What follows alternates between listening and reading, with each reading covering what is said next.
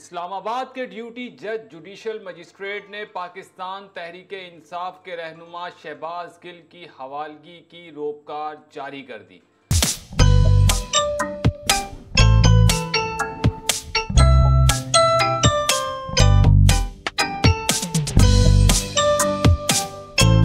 अदालत ने superintendent Adiala jail के नाम रोपकार जारी किए और हुक्म दिया कि मुलजिम शहबाज गिल को तफ्तीशी अफसर तलत महमूद के हवाले किया जाए। जबकि दूसरी जानब सबक वज़ीर अजम और पाकिस्तान तहरीक इंसाफ के चेयरमैन इमरान खान ने अपने chief of staff Shahbaz Gill को जिस्मानी रिमांड पर देने से रोकने के लिए एडिशनल चीफ सेक्रेटरी और इंस्पेक्टर जनरल पुलिस जेल खाना जात को अहकाम जारी कर दिए।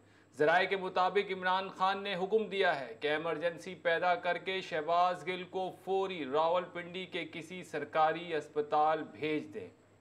तहरीक इंसाफ के रहनुमा असद उमर का कहना है कि माहौल बनाया जा रहा है कि तहरीक इंसाफ ने फौज के खिलाफ मुहिम चलाई। तहरीक इंसाफ ने कोई मुहिम नहीं चलाई।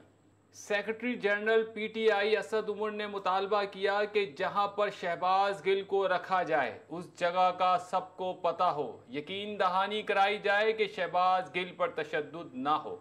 इस मौके पर फवाद चौधरी ने कहा कि पाकिस्तान का दो नंबर वज़ीर दिफा सबसे बड़ी जमात को फौज मुखालिफ कह रहा है। ये किसकी खिदमत है? जबकि वज़ीर दिफा ख्वाजा आसिफ का कहना है कि इदारों के खिलाफ जिस तरह गनावनी मुहिम चलाई गई, कोई भी मुहब वतन पाकिस्तानी ना बर्दाश्त कर सकता है, ना सोच सकता है। पीटीआई सोशल मीडिया वॉरियर्स के साथ 18 भारतीय अकाउंट्स भी मुहिम में शामिल हुए।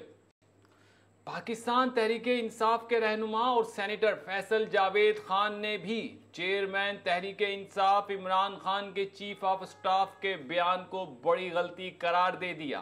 पार्टी में जो शबाज गिल है, उनके ऊपर आप कार्रवाई करें, ज़रूर करें, कानूनी जो चारा जो ये करे, क्योंकि उन्हें वो बयान हरगिज हरगिज नहीं देना चाहिए था। उन्होंने बहुत बड़ी एक गलती की है। किसी किस्म का, इस किस्म का जो बयान है, वो काबिल कबूल नहीं हो सकता। वाजिया रहे कि गुजशत रोज इमरान खान ने भी निजी टीवी को इंटरव्यू के दौरान एतराफ किया था कि शहबाज गिल का बयान गलत था और उनके बयान से फौज में उकसाने का तासुर है। उन्हें ये बयान नहीं देना चाहिए था। बाद पी टी आई सिंध के सदर अली जैदी ने भी शहबाज गिल के बयान को गलत करार देते हुए कहा कि शहबाज गिल ने गलत बात की। लेकिन आसिफ जरदारी और नवाज़ शरीफ ने भी बयान दिए। उनको क्यों जेलों में नहीं डाला जा रहा?